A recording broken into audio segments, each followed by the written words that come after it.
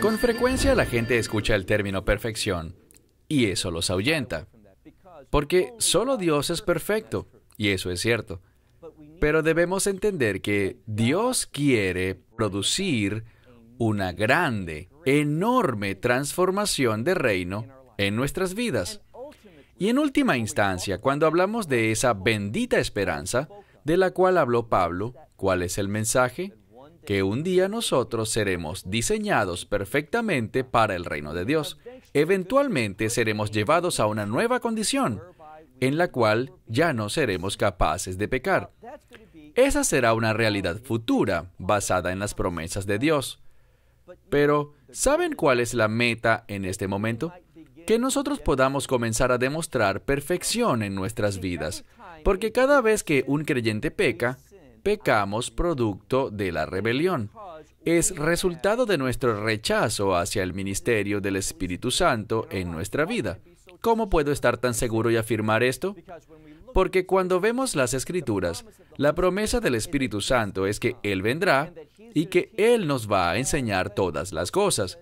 En otro pasaje dice que nos enseñará toda la verdad. Y este Espíritu Santo es aquel que hace que las cosas estén alineadas a la voluntad de Dios, basado en la verdad de Dios y en el poder de Dios. Así que si tú eres un creyente en el Mesías y has recibido este mensaje del Evangelio, debes entender un principio muy importante, que Dios desea que tú seas perfecto. ¿Cómo podemos decirlo de otra manera? Que Él quiere que seas santo. Hay una relación estrecha entre el concepto de santidad y el concepto de perfección. Y estos dos pensamientos siempre están relacionados con el propósito de Dios. De manera que si no estás interesado en los propósitos de Dios, si no deseas cumplir la voluntad de Dios en tu vida, no vas a crecer ni podrás madurar. Eso es exactamente de lo que hablaba el Mesías al finalizar su oración por todos los discípulos en el Evangelio de Juan, capítulo 17. Habiendo dicho esto, vamos por favor al Evangelio de Juan, capítulo 17. Vamos a concluir con estos pocos versículos restantes de este capítulo tan importante. Hemos visto cuántas veces el Mesías ha dicho, yo he sido enviado por el Padre. ¿Sabes lo que eso significa? Significa que Él está demostrando autoridad, la autoridad de Dios en su vida. Vemos una cualidad de sumisión con respecto al Mesías en relación con el propósito de su Padre. Él ha dicho muchas veces, no hablo nada por mi propia cuenta se refiere a su misión. Solo lo que escucho del Padre es lo que yo les hablo. Él dice, no hago nada por mi propia cuenta. Rendición total. Y eso le llevó a dar un ejemplo, el ejemplo perfecto para nosotros, sobre cómo podemos ser fieles al llamado de Dios sobre nuestras vidas.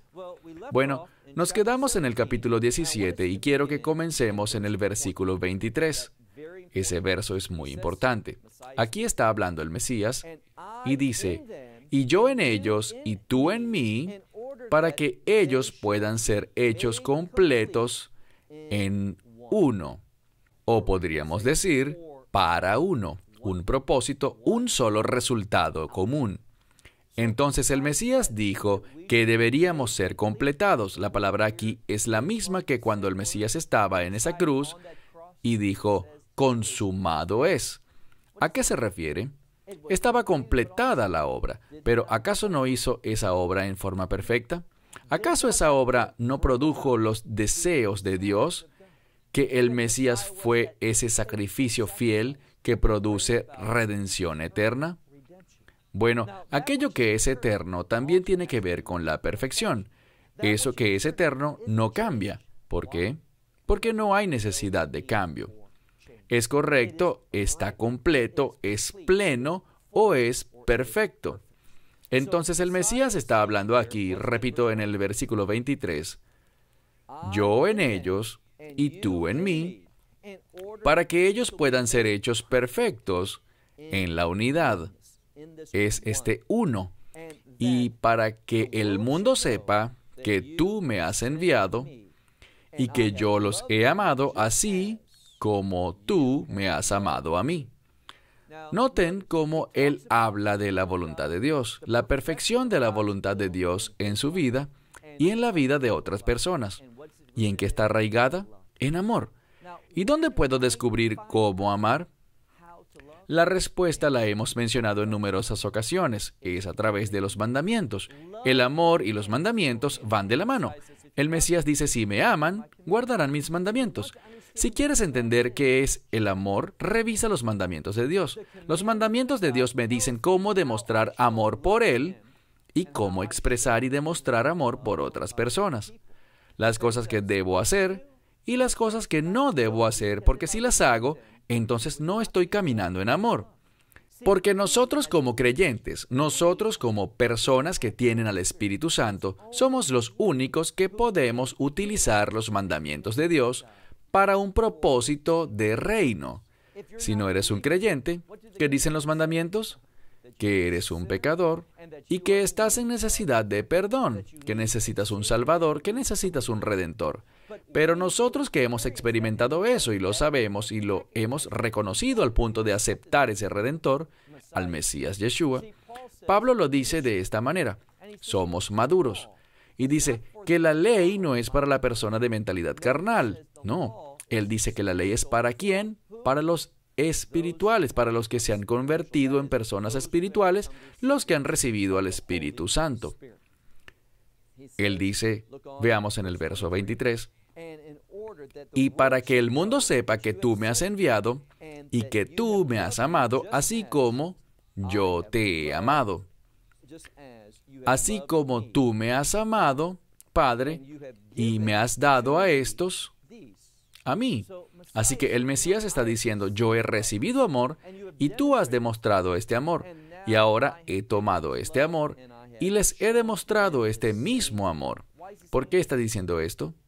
Porque ese es nuestro propósito como sus seguidores, que caminemos en ese amor y manifestarlo al mundo. Se me ocurre preguntar, ¿conoces algún pasaje de la Escritura en el que hable de Dios dándonos un nuevo corazón? ¿Un corazón circuncidado? Bueno, ese es el resultado de una experiencia de reino. Esa es la experiencia de un nuevo pacto, un pacto de reino. ¿Qué dice la Escritura?